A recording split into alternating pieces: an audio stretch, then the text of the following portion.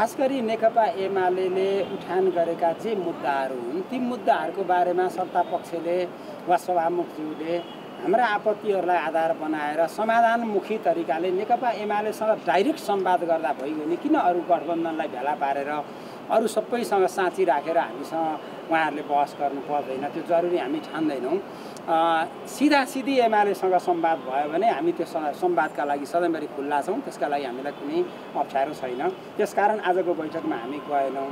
र मूल कुरा के हो भने सरकारसँग अहिले हाम्रो आपत्ति भनेको संसदको अहिलेको हाम्रो अवरोध भनेको सभामुखको व्यवहारप्रतिको आपत्ति उहाँको निर्णयप्रतिको आपत्ति हो भने पछिल्ला दिनमा सरकारसँग पनि हाम्रा केही आपत्तिहरू थपिएका छन् जस्तो कि साउन बत्तिस गतेका दिन संसदको अधिवेशन अन्त्य गर्नुभयो।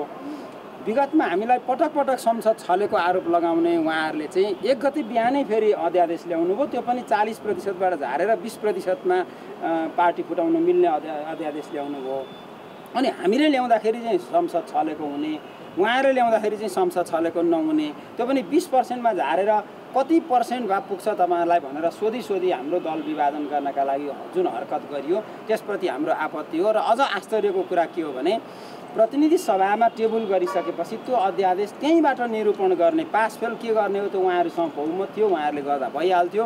तर त्यो छोडेर उहाँहरूले चाहिँ संसदमै त्यसलाई चाहिँ व्यवहारिसे छोडिदिएर चाहिँ अचानक क्याबिनेटले त्यसलाई फिर्ता लिने जुन काम गर्नु हो त्यो कानुन विपरीत छ संविधान विपरीत छ नैतिक दृष्टिकोणले पनि वास्तवमा त्यो उचित काम भयो। अनि त्यो प्रधानमन्त्रीसँग मात्र एमाले सिङ्गल वार्ता गर्ने अरू दल राख्नु पर्दैन भन्ने हो? यदि सभामुखज्यूलाई एमालेलाई हामीले चित्त बुझाउनु पर्छ संसदका लागि भन्ने लाग्यो भने उहाँले सिधा सिधी एमालेको नेतृत्वसँग संवाद गर्दा भइगयो।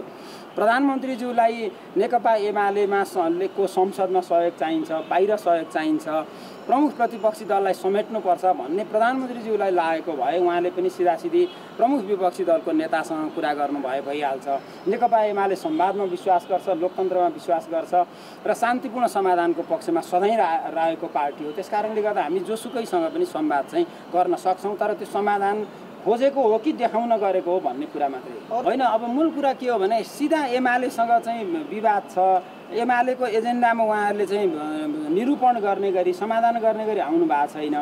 अनि हामी किन अरू दलसँग उहाँले उहाँले मिलाएका गठबन्धनका पार्टीहरूसँग बसेर के निकास निकाल्नु छ र सिधा एमालेसँग गरेपछि त सकिगयो नि? अरू त यसमा जोडी नै आउनुहुन्न नि।